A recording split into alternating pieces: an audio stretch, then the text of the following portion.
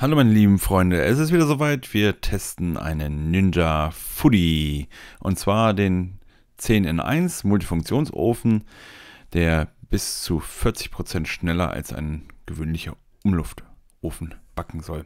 Ja, er kann nicht nur backen, er kann auch äh, braten und äh, Gemüse garnieren und Pommes und Pizza und grillen und und und und und und und und. Ja, auf jeden Fall ein äh, schönes Gerät in meiner Foodie-Sammlung und ähm, ich bin auf jeden Fall schon total gespannt darauf, was man damit alles äh, so Schönes zubereiten kann. Komplette Mahlzeiten kann man darin zubereiten und 90 Sekunden soll für das Vorheizen ausreichen. Garen Sie mühelos eine 5,5 Kilo schwere Pute, eine Pizza von 30 cm soll reinpassen und jede Menge andere Sachen, die man schön da drin frittieren kann. Im Lieferumfang sind auch jede Menge Zubehörteile dabei, wie zwei Grillroste, ein Backblech, ein Bratenblech, ein Heißluft-Frittierkorb sowie ein herausnehmendes Krübelblech und natürlich wieder ein schönes Kochbuch. Hier sehen wir als erstes das Krümelblech, was äh, in der untersten Reihe eingeführt wird und äh, verhindern soll einfach, dass ähm, da Verunreinigung auf den Boden kommen. Dann sehen wir hier den Frittierkorb in gewohnter Ninja-Qualität. Dann noch äh, ja, den Grillrost. Davon haben wir zwei Stück. Ein Bratenblech, auch emailliert auf jeden Fall. Das Backblech für Kuchen und so weiter, auch emailliert. Dann haben wir dabei ein Handbuch wieder sehr, sehr schön äh, alles erklärt da drin und sehr ausführlich auf jeden Fall.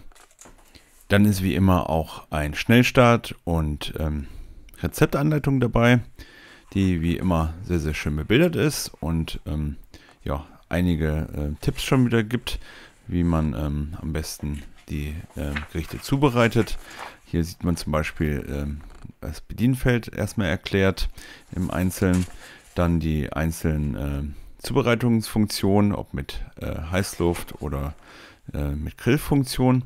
Finde ich auch sehr, sehr schön wieder erklärt. Ähm, da macht sich auf jeden Fall Shark Ninja immer sehr viel Gedanken und äh, ja, da kommt man eigentlich sehr, sehr gut klar dann mit so einem Gerät. Ja, hier nochmal die äh, Auflistung der einzelnen Roste, wie man sie am besten einsetzt.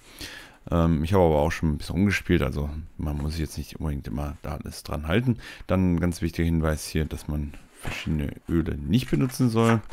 Das sollte man vielleicht beachten, sonst kann es da zur Rauchentwicklung kommen. Ja, dann hier noch äh, so ein paar Mahlzeiten mal eine Übersicht, wie man die am besten zubereiten kann.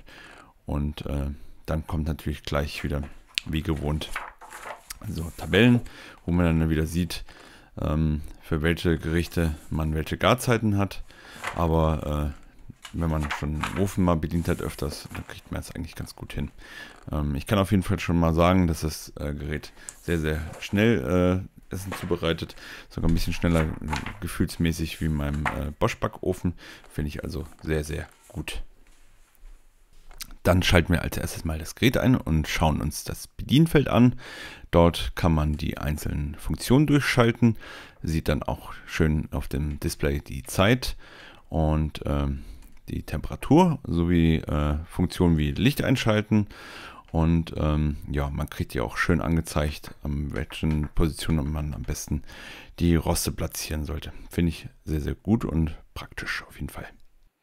Das Gerät selbst hat ein geböstes Stahlgehäuse und äh, wirkt in der Verarbeitung sehr, sehr gut und äh, optisch auf jeden Fall ansprechend, dass man es auch sehr, sehr gut in die Küche integrieren kann.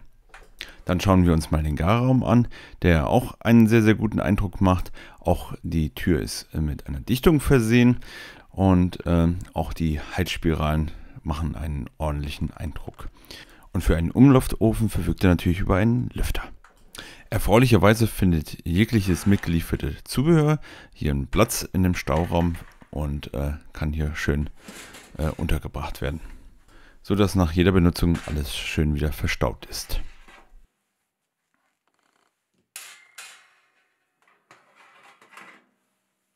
Bevor ich meistens solche Videos dann online stelle, probiere ich sie wirklich dann auch mal aus, die Geräte. Heißt also mal schön äh, diverse Sachen zubereiten. Und ähm, ausnahmslos ist wirklich alles gelungen und es war jetzt nichts, was wirklich Ausreißer dabei waren. Also war da schon sehr, sehr happy mit und äh, freue mich schon auf den zukünftigen Einsatz damit. Ja, ansonsten will ich noch ein bisschen was zu dem Gerät erzählen. Ähm, währenddessen laufen noch so ein paar schöne Bilder im Hintergrund. Jeder Foodie hat seine äh, speziellen Einsatzzwecke, wie auch dieser Ofen. Ähm, da empfehle ich immer mal meine anderen Videos vorher anzuschauen und sich dann mal so ein bisschen ein Bild zu machen, was man denn äh, eigentlich mit dem äh, Gerät später zubereiten möchte. Ja, ich kann auf jeden Fall sagen, das ist ein äh, super Gerät für zum Beispiel Single-Haushalte oder wenn man jetzt sagt, man möchte jetzt irgendwie noch einen zweiten Backofen haben, um einfach noch äh, irgendwas äh, zu backen, zum Beispiel ein Brot oder so, währenddessen, wo der, vielleicht der große Ofen einfach läuft. Ähm, ich finde, das Gerät ist äh, super verarbeitet und ähm, gibt zwar hier und da noch so kleine Stellen, was man noch äh, besser machen könnte an dem Gerät, aber äh, nichtsdestotrotz überzeugt, das geht auf jeden Fall. Und äh, ist, glaube ich, für die Preisklasse wirklich mehr als in Ordnung. Ja, äh, hier sieht man übrigens schon äh, einen kleinen Vorgeschmack auf meinem nächsten Video. Da wird es mich um das Thema Foodie nochmal gehen und äh, dann gehen wir ein bisschen mehr in die Praxis rein. Also ich hoffe, es hat euch das Video gefallen. Lasst mir einen Daumen da, abonniert meinen Kanal und ich freue mich, wenn ihr mir gerne einen Kommentar hinterlasst. Danke und bye bye.